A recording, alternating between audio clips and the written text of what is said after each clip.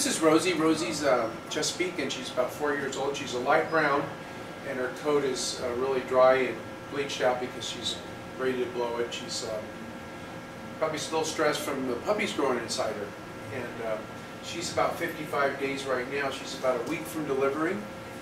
And um, when dogs are going to deliver puppies, they, uh, they, their temperature drops uh, from 101 to 98 and usually then they'll start um, doing their nesting behavior, getting ready to deliver.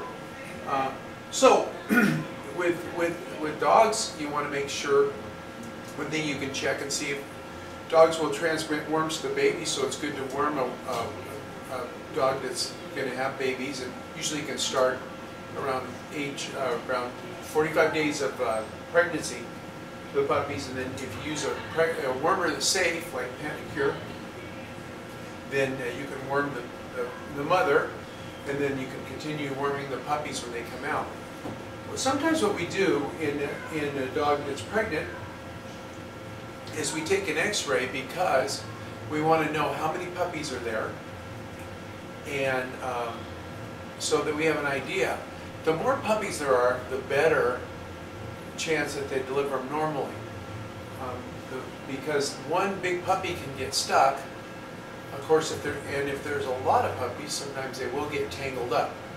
But um, but usually, the more puppies there are, the better. Now, if a dog has too many puppies, sometimes they'll wear out if they're uh, trying to give birth, and it's just an ongoing process. Uh, the, their their body just uh, it's a stressful event, and um, it's hard to push out all those puppies. It's just a muscle, remember, the uterus is a muscle.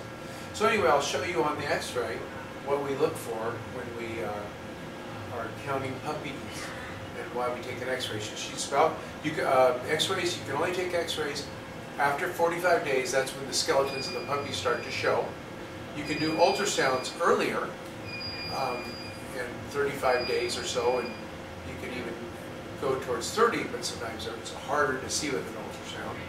Um, and then there are pregnancy tests now that you can run uh, for dogs, and you can see if they're pregnant or not.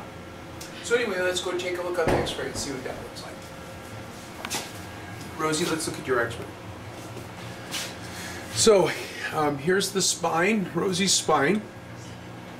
Here's Rosie's leg. Here's Rosie's belly, and if you look at each one of those round things, those are skulls. And if I were to take my measuring device and run it across like that, you can see that the skulls measure about 30 millimeters, 3 centimeters.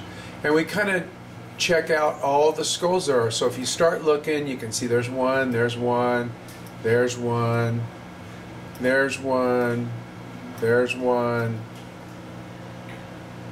so we look around and there's a spine and there's a there's a spine that looks like maybe a head right there and that looks like there's a spine there. So you can see it's, it's here's a lot of food up in here. This is the stomach.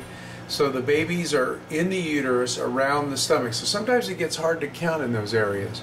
But anyway after I counted and then I use different couple different shots and you can see all the spines of the baby. See that? So they're all crowded in there. And uh, we'll even take one from the top. Here's the spine, here's the pelvis, here's the hips, and you can see the spines all through here too. So that's what we do when we count babies. After 45 days we can take x-rays and we can give the owner an idea how many babies.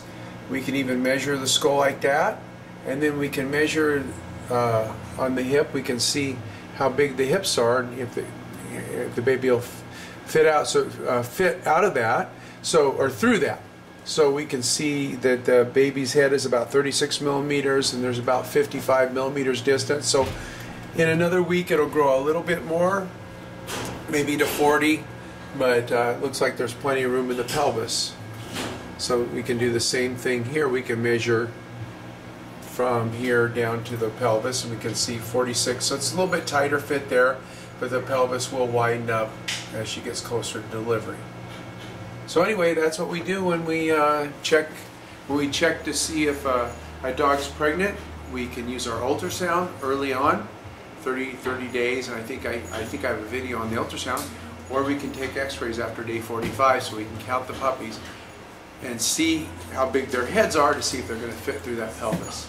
Ultrasound's a little tough to, to count puppies on because it- it's harder to see the individual puppies. So we're going to worm Rosie uh, with a Panacur. So let me grab that real quick.